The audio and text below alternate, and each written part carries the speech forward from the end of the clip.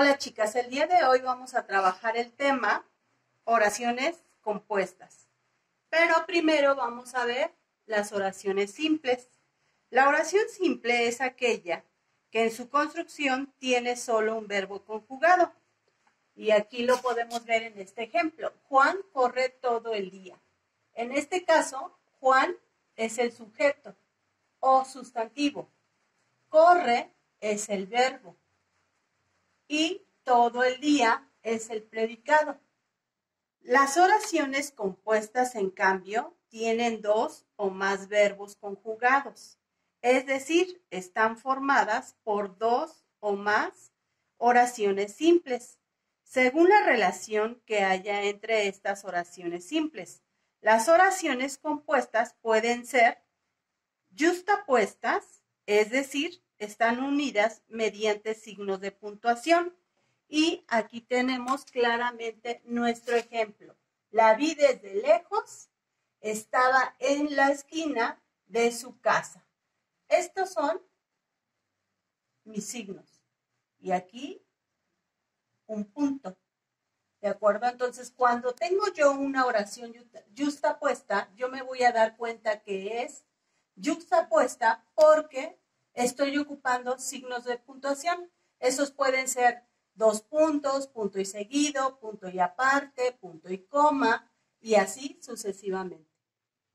Bien, ahora vamos a ver las oraciones coordinadas, en donde se unen mediante nexos coordinantes como y, o, ni, pero, es decir, etcétera.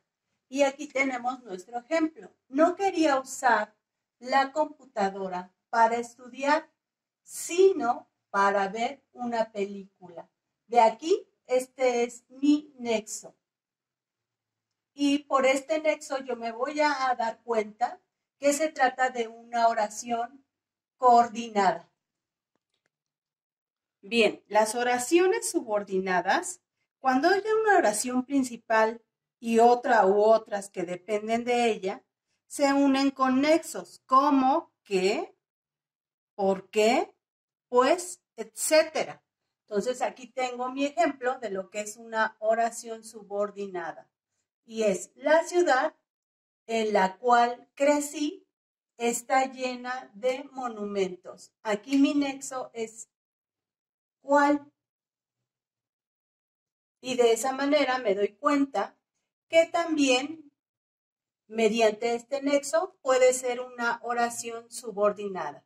Bien, entonces vamos a recapitular. Las oraciones compuestas pueden ser oraciones justapuestas que las voy a identificar por medio de signos de puntuación y las oraciones coordinadas y las oraciones subordinadas voy a identificar que son de este tipo porque están unidas mediante nexos.